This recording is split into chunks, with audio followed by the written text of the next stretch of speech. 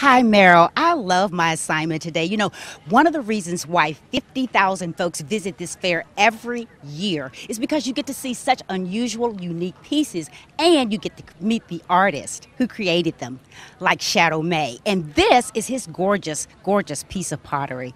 Hi, Shadow. Hi. Tell me a little bit about this and how you do it.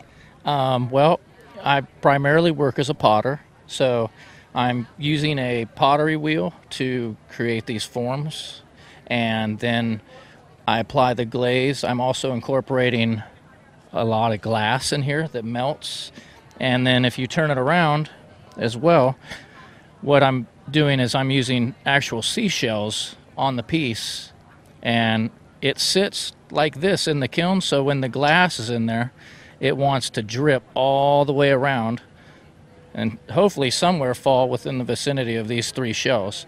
And what the shells do essentially is it eliminates any kind of wax. I get full glaze coverage over the whole piece. It is amazing, and you're not going to find any one piece the same, right, Shadow? Uh, no, they're all unique. Thank you so much. And then, of course, local Ben Caldwell, and so many of you will recognize him and his work. Look at this incredible piece. Ben, tell me about this. Well, it's a large uh, bowl. It's an 18 inch bowl with a moose antler stand. I get my moose antler from uh, Montana and I carve the end, a little flower on the end, and I hand hammer the bowl out. That is beautiful. Where can folks find you? What booth?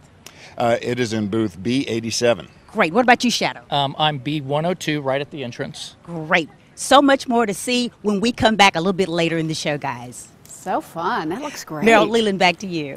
All right, you, yeah. Great to see. Hey, T, bring us back some fudge, all right? that sounds good.